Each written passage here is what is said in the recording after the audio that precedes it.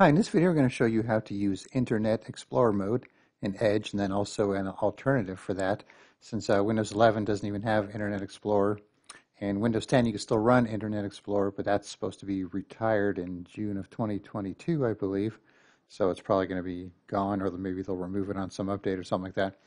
But anyway, so let's say you have some old website or some other application that's web-based that you need to run in Internet Explorer uh, for compatibility and you don't have Internet Explorer, what you could do in Edge is you could run that website in Internet Explorer mode.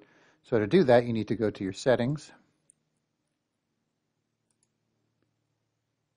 default browser, and then there's a, a section here for allow sites to be reloaded in Internet Explorer mode.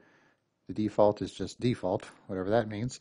And you can change that to allow, and you'll have to restart Internet Explorer. And now when you go to a website, you could right click on it. And you could pick reload tab in Internet Explorer mode.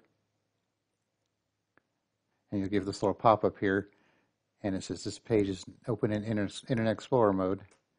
And then you could check you know, do this little slider here if you want to always open this page in Internet Explorer mode.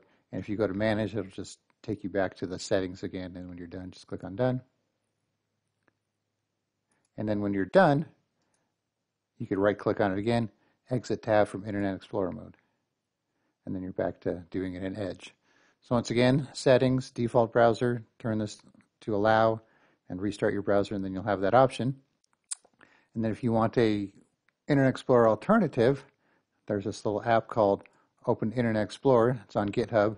So somebody made their own kind of version of Internet Explorer that you could just run without installing it. So if you just double click it, once you download it, and it kind of looks like an Internet Explorer window, and then you could open your pages and use a kind of alternate uh, Internet Explorer, I guess, for lack of a better term. So it's another option. So I guess in Windows 10, if they get rid of Internet Explorer completely, you could use this. And then Windows 11, you could do this anyways if you need some backwards compatibility uh, to run your web apps. All right, so once again, I'll put a link in the uh, description for this so you could download it yourself. And then if you want to just go to your Edge and enable that Internet Explorer mode, you know how to do it, and then you could uh, open your pages in Internet Explorer. All right, thanks for watching, and be sure to subscribe.